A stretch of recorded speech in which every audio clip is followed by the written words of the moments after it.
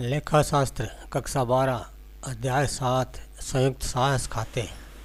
नमस्कार मित्रों, मैं रामावतार बटुक आपका स्वागत करता हूँ। मैं एक स्वयं पाठी विद्यार्थी हूँ। मैं इस प्रकार पढ़ता हूँ, जिससे मुझे सत्तर प्रतिशत से अधिक याद हो जाता है। प्रश्न एक, संयुक्त साहस क्या है? उत्तर, संयुक्त साहस एक विशेष प्रकार के कारोबार को दो या दो से अधिक व्यक्ति मिलकर किसी निश्चित अवधि एवं कार्य के लिए करते हैं। प्रश्न दो, संयुक्त साहस कब समाप्त होता है? उत्तर, विशेष कार्य के पूर्ण हो जाने पर अथवा निश्चित अवधि के समाप्त हो जाने पर संयुक्त साहस भी स्वतः समाप्त हो जाता है। प्रश्न तीन, संयुक्त साहस से उत्पन्न लाभ आने का क्या किया जाता है?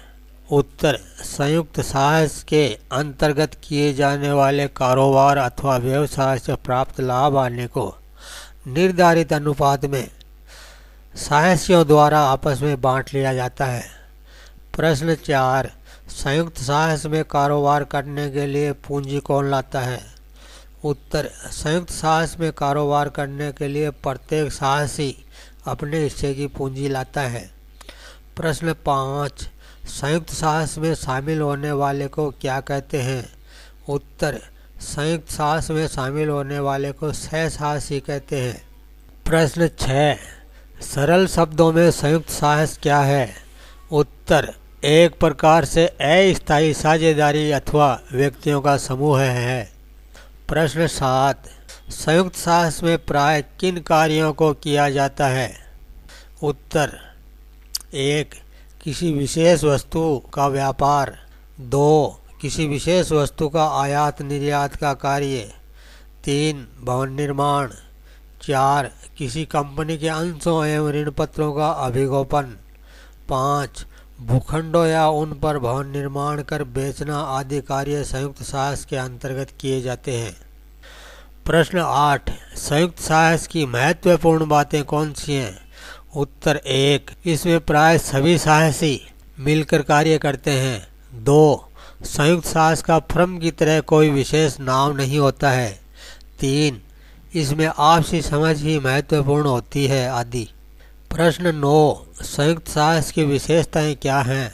उत्तर एक, संयुक्त साहस किसी विशेष कार्य को निश्चित समय तक पूरा करने के लिए होता है। कार्य अवधि समाप्त होने पर कार्य भी स्वतः समाप्त हो जाता है। तीन, संयुक्त साहस के समाप्त होने पर लाभ आने विभाजन एवं हिसाब किताब का निपटारा कर लिया जाता है। चार, संयुक्त साहस प्राय अल्पकालीन होता है। पाँच, संयुक्त साहस का कोई नाम नहीं होता है। इसमें सहसाहसी इसके साथ ही निजी व्यवसाय भी कर सकते हैं। प्रश्न दस, नाम के आधार पर संयुक्त साहस और साझेदारी में क्या अंतर है? उत्तर, संयुक्त साहस का प्राय कोई नाम नहीं होता है, जबकि साझेदारी संस्था का एक निश्चित नाम होता है। प्रश्न ग्यारह, उद्देश्य के आधार पर संयुक्त साहस और साझेदारी में क्या अंतर है? उत्तर, संयुक्त साहस का उद्देश्य निश्चित कार्य या निश्चित समय तक व्यवसाय करना है, जबकि साझेदारी का निर्माण निरंतर संचालन हेतु होता है। प्रश्न बारह, पंजीयन के आधार पर संयुक्त साहस और साझेदारी में क्या अंतर है? उत्तर, संयुक्त साहस में पंजीयन कराना आवश्यक नहीं है, जबकि साझेदारी में पंजीयन कराना आवश्यक है। प्रश्न तेरह अधिनियम के आधार पर संयुक्त साहस और साझेदारी में क्या अंतर है? उत्तर, संयुक्त साहस के लिए कोई पृथक अधिनियम नहीं होता है, जबकि साझेदारी में साझेदारी अधिनियम 1932 लागू होता है। प्रश्न चौदह, सदस्य के आधार पर संयुक्त साहस और साझेदारी में क्या अंतर है? उत्तर, संयुक्त साहस में भाग लेने वाले को सहसासी कहा जाता है, जबकि साझेदारी में भाग लेने वाले को साझेदार कहा जाता है। प्रश्न पंद्रह, सदस्य संख्या के आधार पर संयुक्त साहस और साझेदारी में क्या अंतर है?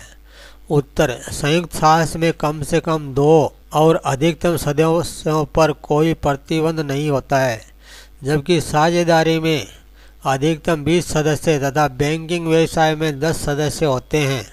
प्रश्न 16 संबंध के आधार पर संयुक्त साहस और साझेदारी में क्या अंतर है? उत्तर, संयुक्त साहस में साहसियों में परस्पर समझ होती है, जबकि साझेदारी में साझेदारों में आपसी संबंध होता है। प्रश्न सत्रह, संयुक्त सास संबंधी लेखा करने की कितनी लेखा विधियाँ हैं? उत्तर, संयुक्त सास में मुख्य रूप से लेखा करने की दो लेखा विधियाँ हैं। एक, संयुक्त सास के लिए पृथक से लेखा पुस्तकें रखना। दो, संयुक्त सास के लिए पृथक से लेखा पुस्तकें नहीं रखना, जिसमें ए, प्रत्येक साक्षी द्वारा स्वयं के लेन देनों का लेखा रखा जाता है, और बी, स्वयं के लेन देनों के साथ अन्य साक्षियों के लेन देनों का भी लेखा रखा जाता है। प्रश्न 18 संयुक्त साहस के लिए पृथक लेखा पुस्तकें किन परिस्थितियों में रखी जाती है? उत्तर एक जब सभी साहसी एक ही स्थान पर रहते हों, दो संयुक्त साहस का कारोबार बड़ा हो और तीन साहसियों द्वारा आपस में मिलकर निर्णय लिया गया हो, इन परिस्थितियों में पृथक पृथक लेखा पुस्तकें रखी जाती है। प्रश्न 20 संयुक्त सास खाते की विशेषताएँ क्या है? उत्तर, एक, संयुक्त सास खाता व्यापारिक एवं लाभ हानि खाते की तरह होता है। इसमें सभी क्रय एवं खर्चे नाम पक्ष में लिखे जाते हैं। तीन, बिक्री एवं अन्य आय को जमा पक्ष में लिखा जाता है। चार, इस खाते का अंतर लाभ आने को प्रकट करता है। और पाँच, लाभ आने को इसी खाते के माध्यम से साहसियों में बांटा जाता है। प्रश्न इक्कीस, संयुक्त बैंक खाता क्या है? उत्तर, एक, संयुक्त साहस के सभी भुगतान इसी खाते से किए जाते हैं। दो सभी साहसियों द्वारा अपने हिस्से की पूंजी की रकम इसी खाते में जमा की जाती है और तीन, बिक्री आदि से आय की रकम को इसी खाते में जमा किया जाता है। प्रश्न बाईस, प्रत्येक साहसी का पूंजी खाता अथवा व्यक्तिगत खाता क्या है? उत्तर एक साहसी द्वारा अपने हिस्से की रकम को इसी खाते के माध्यम से संयुक्त खाते में जमा की जाती है। दो, संयुक्त साहस की समाप्ति पर व्यक्तिगत खाते में विशेष राशि को भुगतान कर लेखा पुस्तकें बंद की जाती है। तीन, यदि माल की पूर्ति कोई साहसी करता है तो उसका व्यक्तिगत खाता क्रेडिट किया जाएगा। चार, यदि किसी खर्च का भुगतान कोई साहसी करता है तो उसका व्यक्तिगत पूंजी खाता क्रेडिट किया जाएगा। प्रश्न तेईस, यदि संयुक्त साहस के लिए माल उधार क्रय किया जाता है तो लेखा किस प्रकार होगा? उत्तर, संयुक्त बैंक खाते के स्थान पर आपूर्तिकर्ता के खाते को क्रेडिट किया जाएगा। प्रश्न चौबीस, यदि किसी साहसी का पूंजी खाता अथवा व्यक्तिगत डेबिट शेष बताता है तो क्या किया जाएगा? उत्तर, अंतिम भुगतान से पहले उस साहसी से शेष रकम वसूल की जाएगी। एवं उसके बाद अन्य साहसियों को भुगतान किया जाएगा। प्रश्न 25 संयुक्त साहस के लिए पृथक से लेखा पुस्तकें रखना क्या है? उत्तर, जब सभी साहसी एक ही स्थान पर नहीं रहते हों एवं संयुक्त साहस का कारोबार भी अधिक बड़ा नहीं हो तो संयुक्त साहस के लिए लेखा पुस्तकें अलग से नहीं भी रखी जा सकती है। ऐसी दशा में साहसीगण अपनी ही पुस्तकों में संयुक्त साहस के लेन देन का लेखा रख सकते हैं। प्रश्न 26 संयुक्त साहस के लिए पृथक से लेखा पुस्तकें नहीं रखने की स्थिति में कौन सी विधियाँ अपनाई जाती हैं? उत्तर एक। प्रत्येक साहसी द्वारा केवल समय के लेन देनों का लेखा रखना और दो। समय के लेन देनों के साथ ही अन्य साहसियों के लेन देनों का लेखा रखना। ये दो विधियाँ अपनाई जाती हैं। प्रश्न सत्ताईस। प्रत्येक साहसी द्वारा केवल स्वयं के लेन देनों का लेखा रखना क्या है? उत्तर, लेखांकन की इस विधि में प्रत्येक साहसी अपनी लेखा पुस्तकों में संयुक्त साहस खाता, संयुक्त साहस के नाम से खोलता है। इस खाते की प्रकृति व्यक्तिगत खाते की होती है। संयुक्त साहस की समाप्ति पर इस खाते का शेष अन्य साहसी से लेना बाकी व देना बाकी बताता है। प्रश्न 28 संयुक्त साहस में समय के लेन देनों के साथ ही अन्य साहसियों के लेन देनों का लेखा रखना क्या है?